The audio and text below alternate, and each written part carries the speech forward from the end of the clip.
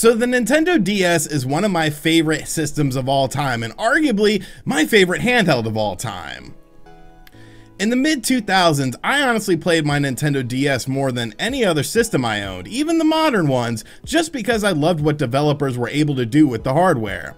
As time has gone on, we of course have gotten the Nintendo 3DS and now the Nintendo Switch, but I really feel like a lot of people don't realize how many awesome games there are for the DS that are still worth playing today.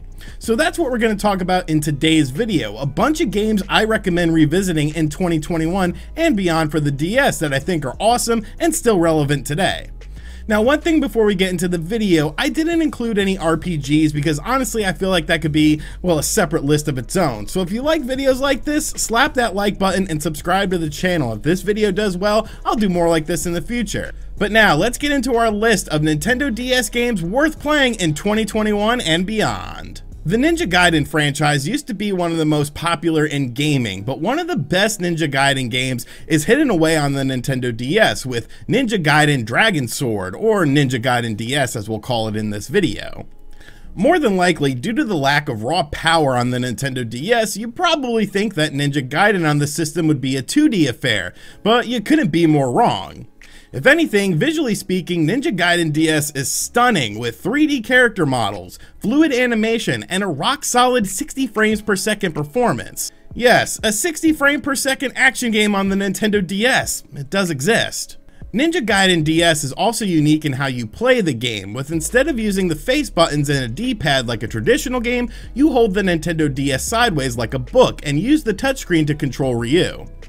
The left side of the screen is your map, and the right side is how you control Ryu, which can be switched if you are left-handed. You tap the screen to throw a projectile, tap and hold to make Ryu go somewhere on the screen. You slash vertically or horizontally to attack with your sword, and slide up to make Ryu jump. It sounds a little bit confusing at first, but after a few minutes it honestly becomes second nature. Now Ninja Gaiden DS isn't a super long game or anything like that, taking around 7 or so hours to complete but it is a fantastic action game that no one ever talks about anymore and is well worth playing in 2021. The Legend of Zelda franchise saw two releases on the Nintendo DS with The Legend of Zelda Phantom Hourglass and The Legend of Zelda Spirit Tracks. Both games play in a pretty similar style, with control of Link being done with the touchscreen, which turned a lot of people off to these games, and a bit more emphasis on puzzles because of this unique control scheme. But I think both of these games are fun and worth checking out. But I want to give a little bit more shine to Spirit Tracks, because it seems like it's become the butt of jokes for Zelda fans, and I still think it's a really good game.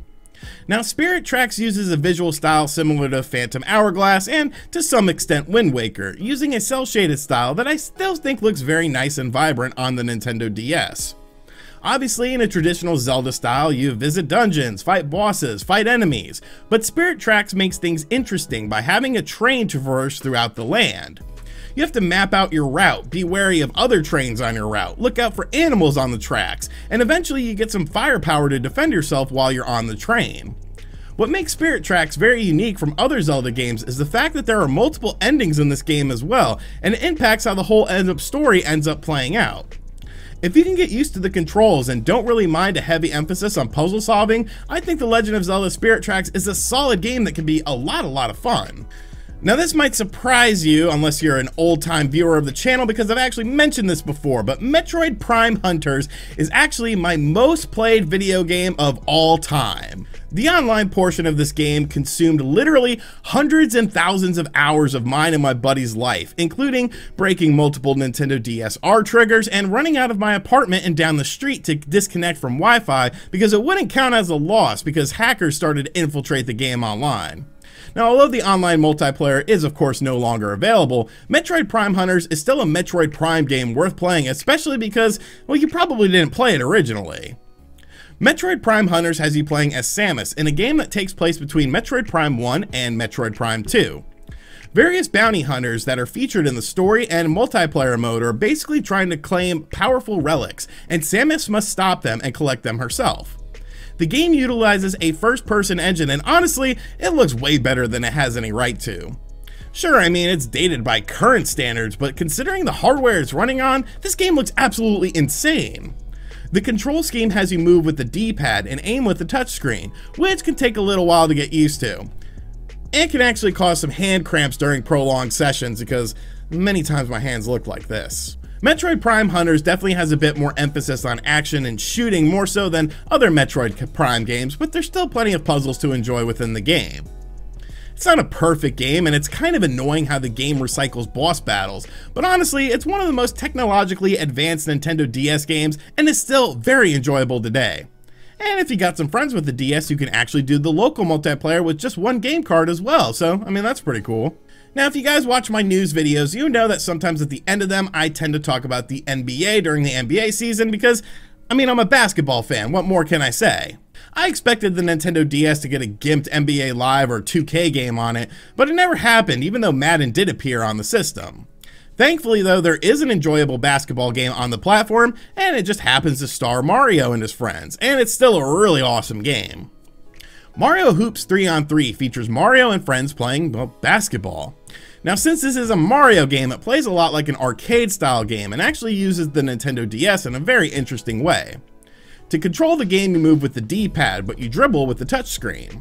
To perform shots, dunks, and other things, you do certain gestures on the touchscreen with the stylus. Defense is similar, with steals and blocks being done with the touchscreen as well.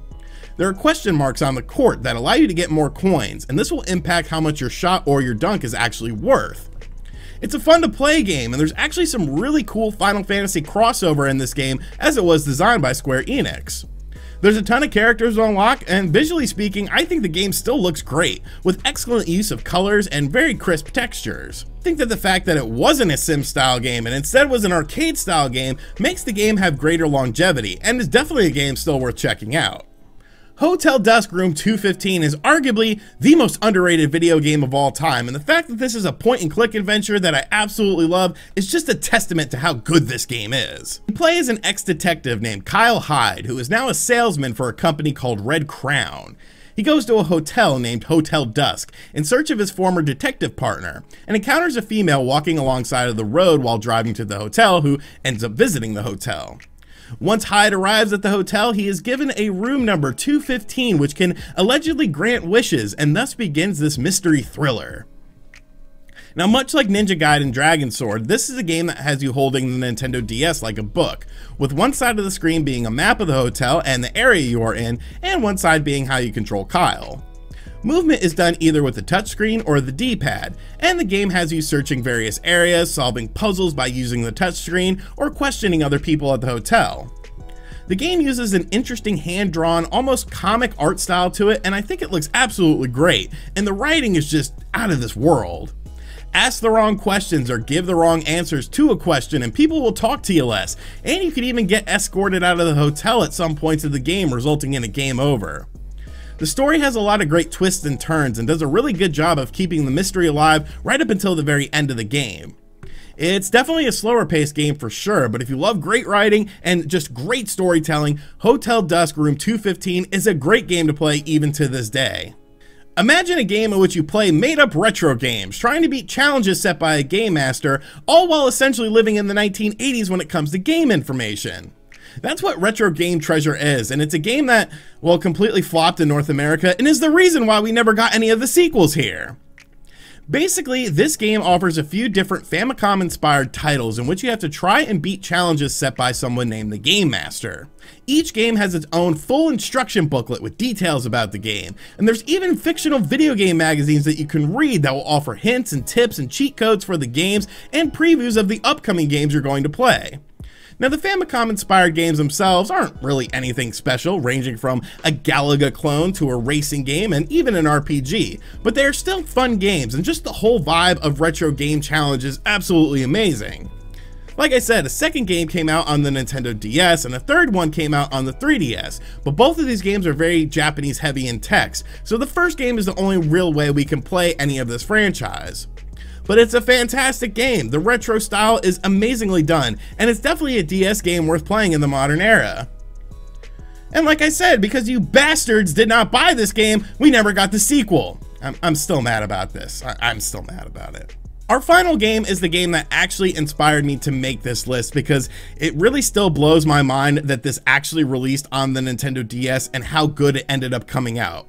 Grand Theft Auto is of course one of the biggest franchises in gaming, and Grand Theft Auto Chinatown Wars was an exclusive, at least when it released originally, for the Nintendo DS, offering a brand new Grand Theft Auto experience.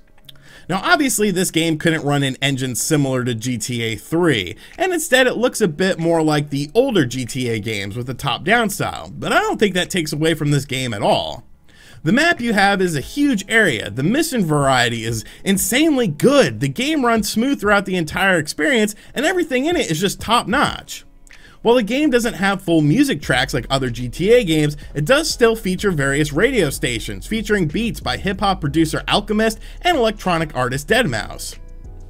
Also, you buy and sell drugs in this game, like literally, with an interactive drug market, and you can actually put kilos of coke in the trunk of your car in a DS game. Now yes, this game did also release on the PSP with upgraded visuals and music, but it loses the touchscreen controls that are used for things like carjacking, planting bombs, and of course the aforementioned drug deals. I've honestly been playing this game a lot recently, and I'm absolutely in love with it, and you can make a case for this game being one of the most impressive games on the Nintendo DS in terms of size, scope, scale, and quality.